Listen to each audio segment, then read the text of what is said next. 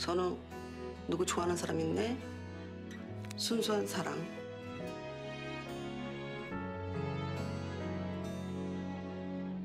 끝없는 진심. 아 너 그리고 왜 이렇게 내 주변에 있는 남자들을 싫어해? 그 네가 만난 사람들의 죄다 그냥 죄다 뭐? 그리고 이 사람은